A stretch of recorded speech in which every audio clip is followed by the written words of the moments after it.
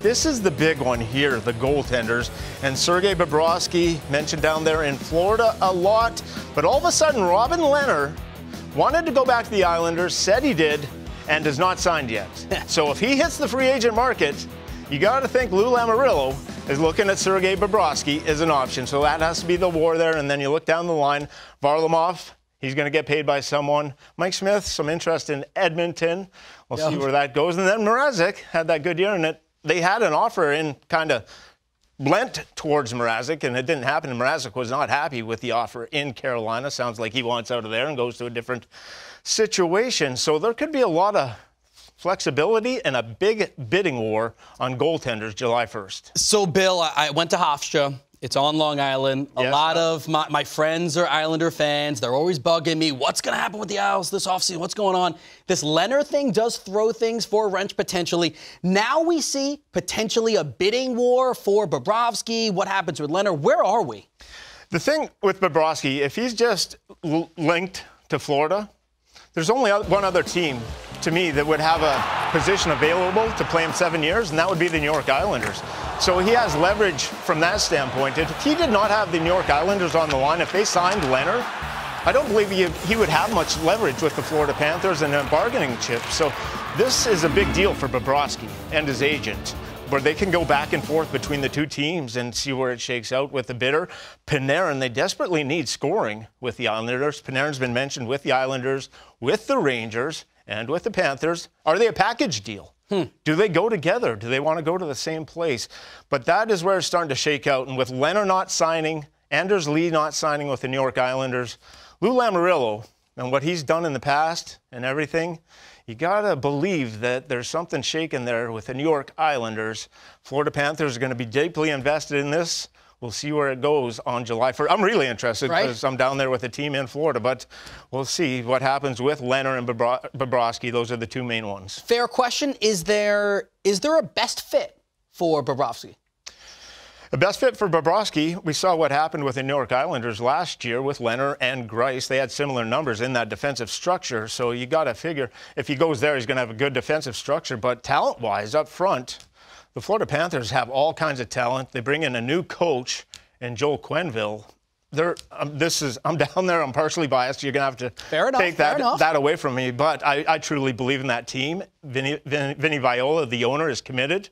They want to win. They want to go forward, and they're committed to spending and treating you right. And if he wants to go down there and have a ton of offense in front of him, one of the best coaches in the history of the game behind the bench and live in South Florida where it's very nice in the winter, then Sergei Bobrovsky quite possibly ends up with the Panthers. We could have made a graphic Bob or Rob, right? Bobby yeah. Leonard, Bob or Rob, Bob or Rob.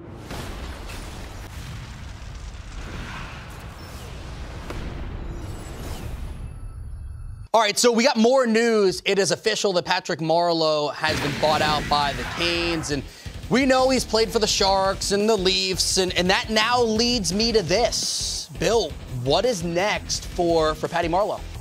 Patrick Marleau is just going to take a cheap deal wherever he can get it. The buyout's going to favor him. Over 1,600 games, 21 years in the league, he has missed 31 games that entire time. He's a player that shows up for practice, he shows up for games, he's going to be there. He's still, you can bank 15 goals, 40 points in the book wherever he plays on a third line role. He can still skate. And the big thing with the NHL, if you can skate, you can play. And Marleau has that availability. The six million, that's not worth the price tag. Does he go back to San Jose? He probably would love to go back to San Jose. You probably could sign him at the minimum in San Jose for a one year deal, whatever the minimum salary, and he probably would take it. So that might be an option that San Jose might be interested, bringing Marleau back. And I would love Marleau on a low salary on my team. But there, there will be teams out there that are going to want and probably pay more money. So it's going to be up to Marleau and what he wants to do. But he is going to play in the NHL this year if he wants and is committed to coming back. He just has that kind of ability.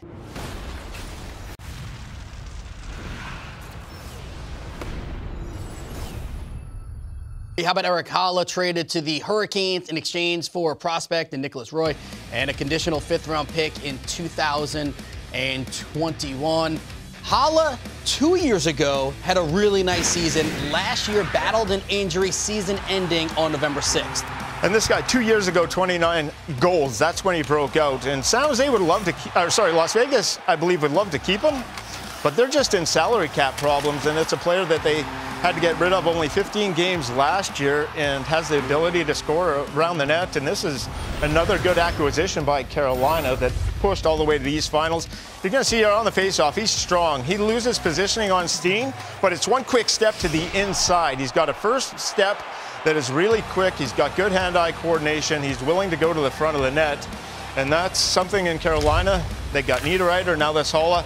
And you see he's always facing the play. This tells me he's got a high hockey IQ. A lot of players would turn towards the boards. Marchessault has the puck. He always keeps his eyes focused on the puck. That allows him to, to be aware, to be open, picks it up off his skate, and then a quick little wrister. And you see that skate pick up there, very deft. He didn't even look down at that.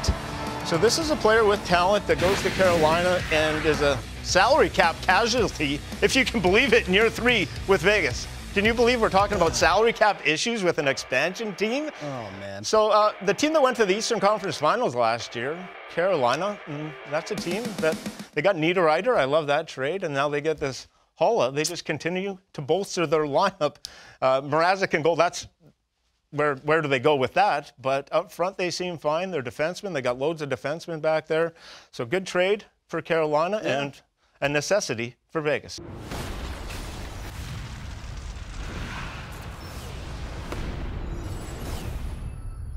We now keep it moving. Jesse Granger covers the Golden Knights for The Athletic. I guess we'll start there with Erik Haula. How does this trade ultimately help out Vegas and their salary cap situation?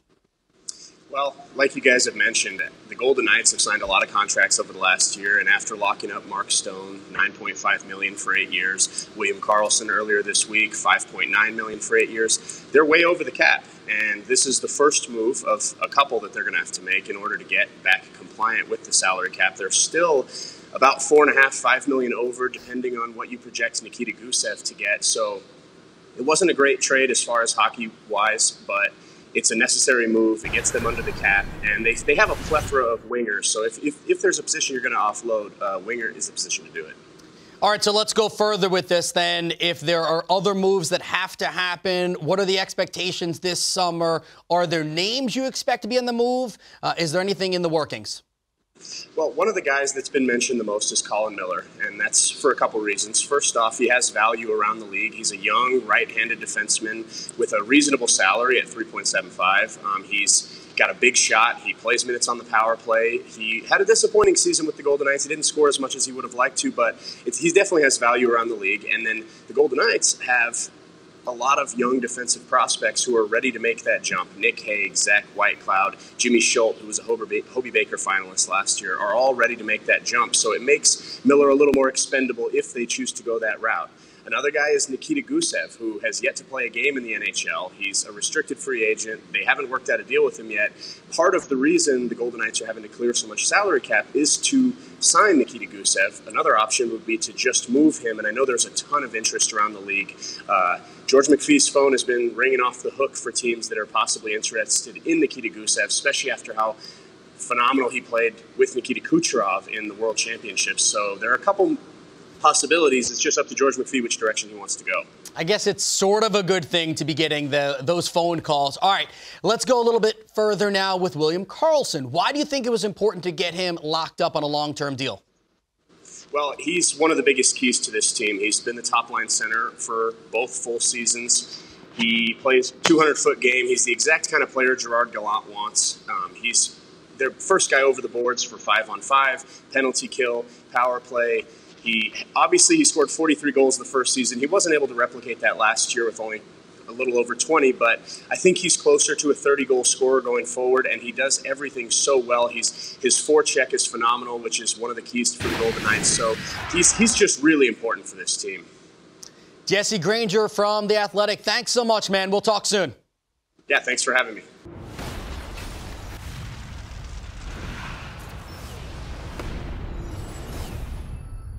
How about this? After helping the Blue Jackets reach new heights this year in the playoffs, how about Matt Duchene? He could end up being on the move. You're talking about a centerman drawing interest from a few teams, a list that includes Predators, Canadiens. Matt Duchene Where do you think he ends up? Nashville looks like the natural fit. He's been down there, and met with them. And as centerman, they had a centerman, Kyle Turris, that didn't work out for, very good from Nashville. They need a number two centerman that can score some goals. The defense are good. They've got a goaltender, Pekka is good. Everything's good from that point of view. But this is a player to bring in, and he was good for Columbus. I didn't know how he would shake out, how he'd be in the playoffs, but he's dynamic, and he's a player that can open up space. He can find his teammates. Uh, very good on the power play, exceptional in the faceoff circle. Actually, he's going to win draws.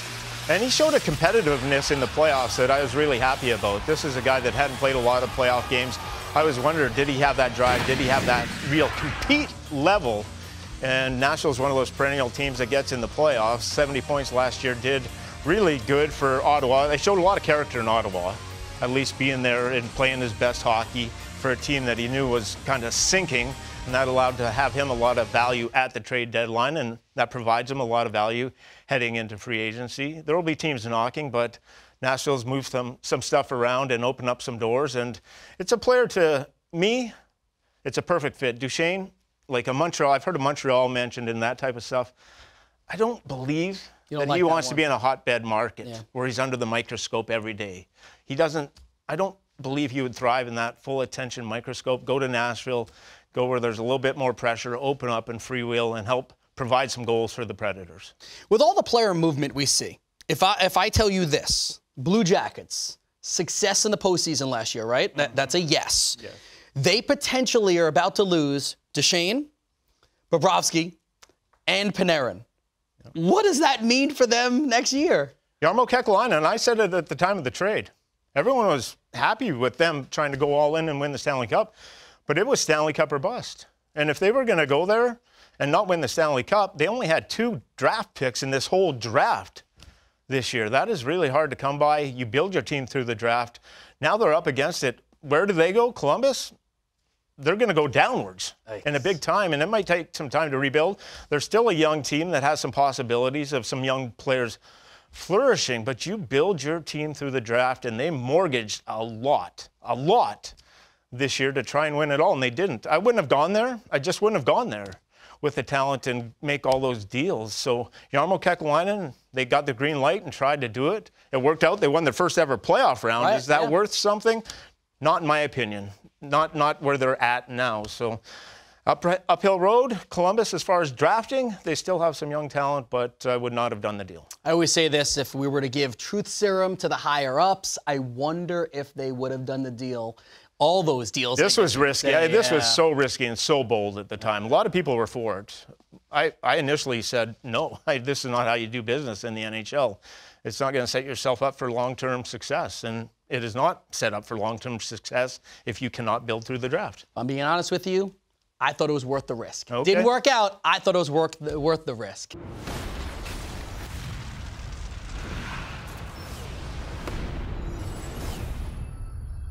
We are cruising along here and joining the staff in Arizona. It's going to be the great Phil Housley. Talk about a guy that has done a lot in the NHL. He'll be a part of the staff there, seven times an All Star, inducted into the Hall of Fame in 2015. And now let's talk about a coaching staff that has gotten it done. You got Tocchet, MacLean, and Housley Combine all those points, and you are over 3,000 NHL points. You're talking about guys that know how to play the game, know how to coach the game, and we are excited now to have Phil Housley with us on the line. Phil, we look at that coaching staff that you're now a part of. Why did you think Arizona was the perfect fit for you? Well, just a short story. You know, uh, when I was let go by Buffalo, you're always uh, in a grieving period, and uh, you, you don't know if you want to get go back to work. It just leaves a bad taste in your mouth. But uh, as time heals and the juices start getting kicked up, uh, uh, obviously there was some interest. But uh, you know, I, I've played with Rick Tocchet, I've played with Johnny Mack, and I just thought it was a really good fit. Uh, I really got along with those guys when I played with them, and it was, I, I believe it was going to be an easy transition as being a part of their coaching staff. And uh, I'd like to thank John Chayka and Rick Tocchet for obviously giving this giving me this opportunity. Phil, you had a lot of success with the D in Nashville. You go to Buffalo, the head coach. How much does that head coaching experience? I know it doesn't turn out the way that you would like, but how much did you learn from that head coaching experience in Buffalo that you now can apply to coaching this Arizona team? Yeah, you know, it was a tough situation in Buffalo. You know, we didn't get to go where we wanted to be.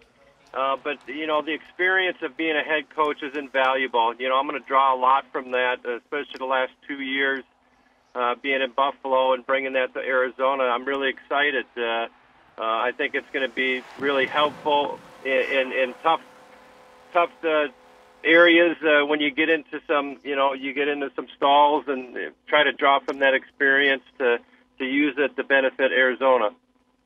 All right, Phil. So now we get into the the X's and the O's. We start looking at this team. What do you like about the blue line? Well, obviously they were a force last year, and um, looking to build on. We got uh, some really good veterans. You know, Oliver Ekman Larsson. You got Chalmers, and uh, obviously there's uh, Zamir. You got some good veterans and some good guys that uh, really, you know, try to add it to the attack. And we're going to try to get more aggressive with it. Uh, obviously, the game's changed, and you guys know that uh, the big part of the offense is coming from the back line, and uh, we're going to try to get those more involved. And Phil, what's the best thing that makes a good NHL defenseman in today's game?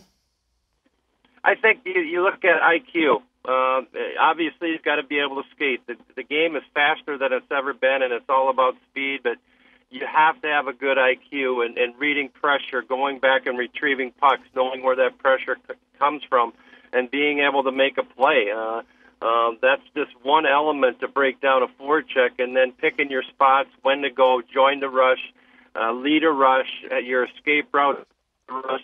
You know, trying to find that hole in the second wave that's all about IQ, and I think it's so important that you have good puck moving defensemen that can skate and have a good IQ. Phil, do you ever feel like you would fit exceptionally well in today's game? I mean, this is almost tailor made to your style. Can you translate a lot of that over uh, to these young guys? Yeah, I think so. I think uh, you look at Nashville. The uh, they're they're uh, you know uh, one of the top D, D corps in the league, and they were young at one point, and I got a chance to work with some incredible people there. You know, Shea Weber. You know, we moved. He had to move on to Montreal, but obviously uh, uh, the young development because uh, they were young at that stage and they developed and blossomed into solid players. And uh, I think just today's game, just the way it's played, you don't have to defend going backwards all the time. You know, you can skate forward and get in position now uh, and try to really take the gap away. But uh, I would have really loved to play the three on three. I think that's the exciting part of the game. You can play three on three with your coaching staff after practice. That would be pretty good. you play basketball uh, at times. You know, when you turn the net over and it's a it's a good conditioning skate, but you can also work on skill. So I'm sure I'm going to have to come in shape come camp time. Love it. All right, last one for me. I know we're not even into July yet, and maybe it's um, a little too early for this, but I'll ask it anyway. When you look at this team, what are some of the realistic expectations going into next season? Well, obviously, uh, Rick and, his, and the staff did a terrific job last year. Despite all the injuries, uh, you know, they got close. I think it's going to be important that, you know, these guys got a taste of it and what it's going to take to get in the playoffs, and it's not easy. You know, you just have to get in. You look at St. Louis, uh, you know, making that run and then winning the Stanley Cup. So anything's possible. And I draw some experience from the team in Nashville. I mean, we were the last one in the conference. you know, we were at the Stanley Cup final. So uh, I think those guys had a taste of it, and, it, and it's hard. It's difficult, especially with the schedule we have and the travel. Uh, just looking at it, uh, where it puts us in a tough position. But I think the guys understand that you have to be ready for camp.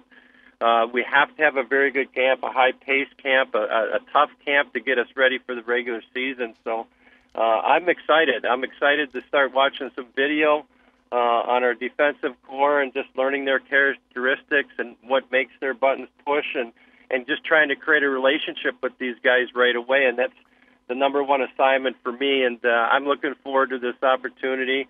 uh, it was exciting to watch them last year make a push, and hopefully we can build off that. Phil, congratulations. We could not be happier for you. Good luck, and I'm sure we will catch up again very soon. Hey, thank you guys. And Billy, it's always great to talk to you. Hopefully, we'll see you down the road. Always a pleasure, Phil. Thank you very much. Best of luck.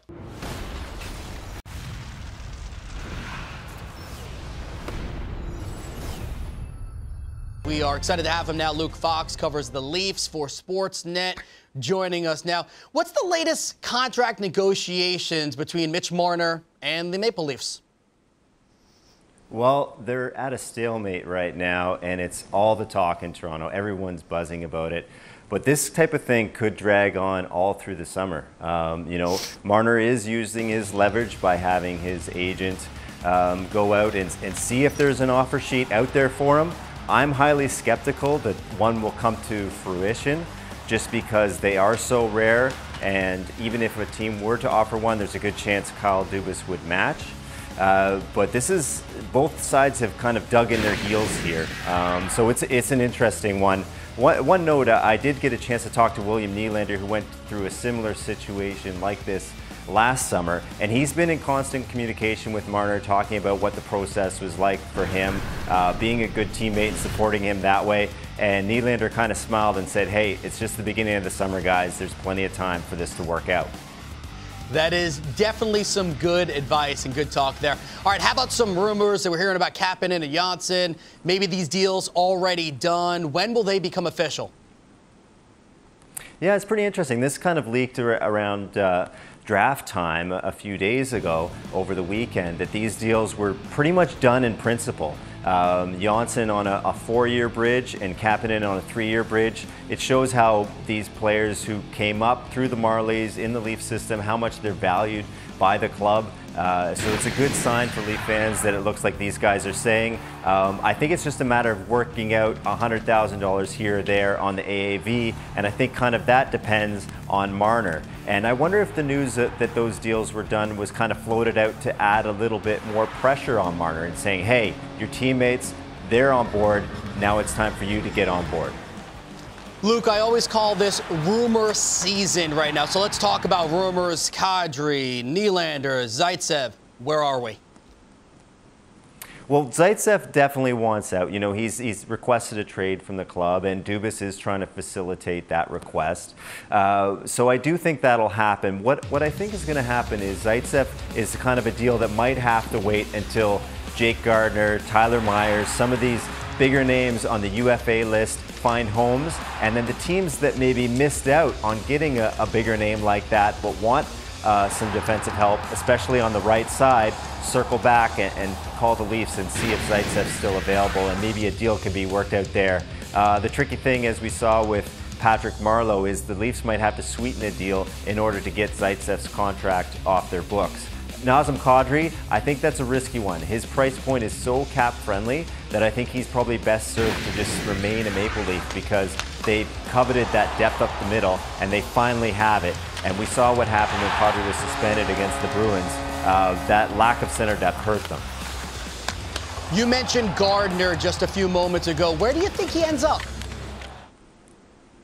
It's going to be fascinating. Um, I, I, know the Leafs are still in touch with him. Uh, it's just cap space, and the Marner situation will probably make it highly unlikely that he returns. Uh, I have my eye on Detroit. I think Steve Yzerman coming there, I think he might make a little bit of a splash. He has a little bit of cap space to play with. They want to get a bit younger. Niklas Kronwall's, uh, you know, a UFA. He might return, but they need to get a bit younger and a little bit more mobile on the D. You know, Mike Gardiner, another defenseman on Detroit, has had a, a history history of injuries. So I think they could be a player there. Gardiner also has strong ties to Minnesota. Are they interested?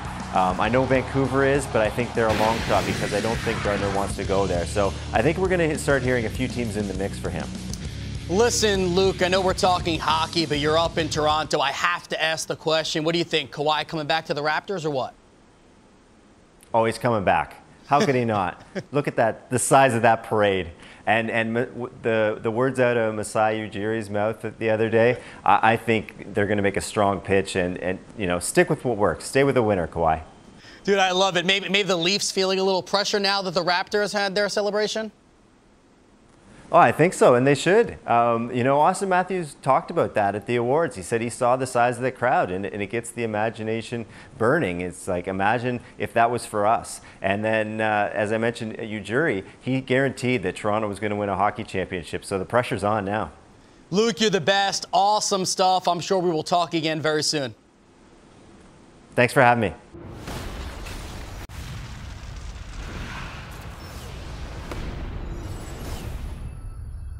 How about your the team you're around all the time, the Panthers? Um, the plan for Spencer Knight taking him is what? Spencer Knight is a goaltender they believe can be a franchise goaltender down the road. The projections, Carter Hart, Carey Price, those kind of tools. You can see calm, cool. He's got good reflexes, a lot of athletic ability. If he comes on the same sort of projection as Carter Hart and is able to develop at Boston College, where he'll be under one of the great time coaches, Jerry York, who's been there forever. But if he develops and goes fast tracked and he's able to play three, four years, then you might have a goalie ready to step in. And this, that's where this Bobrovsky challenge comes in. Where do you evaluate Knight at? And if Bobrovsky stands in there and says, I want seven years at 11 million, and this kid's ready in three years, do you really want that? I believe the Panthers signed Bobrovsky, but it's going to have to be a deal where they feel it's favorable, favorable for them and also presents a space, some point, for Spencer Knight. You don't draft a franchise goalie in the first round and let him sit for maybe seven years eventually to come back into the fold. There, there's goaltending issues. Dale Tallon, the scouting staff, they believe in this guy. And if you have that kind of belief, you're set up in the future for a long time if you find a special goalie. He has all the tools. It's going to take him a while to develop. It's not immediate. So we'll see. And this is why this Bobrovsky thing is really interesting to me. And with the Islanders out there, and you got Coach Quenneville, you got $24 million to spend if you're the Panthers. Do you tie it up? If you go the direction and Bobrovsky wants full term at 7 million, or seven years, 11 million, and Panarin wants seven, 12 that's a lot of money. That's all your 24 million gone. You could switch it around, get into a Leonard situation, a Varlamov situation, cheaper. You could go out, get some defensemen. You could fill your bottom six and spend that money and generate it, and then build up that team and give a lot more disposability to Coach Quenneville. That is not a bad option to have. And then Spencer Knight joins the fold at some point. So the decisions are there. And two, you have Huberdeau, Trocheck, and Barkov on exceptional deals. Hmm. Exceptional. But those are about three, four year windows. They're going to be up. Mm-hmm. And then if you're paying Panarin and Bobrovsky this type of money, then you have to make decisions on Barkov, Huberdeau, Trocheck uh, down the road. So those are all things that goes into this free agency planning. You hear all these rumors and everything, but the team's not going to do it if it's not right. If the agent comes in and demands this is what it is. They're not going to take it. This is why I have no desire to be a team president or team GM. I, I, I like sitting right here.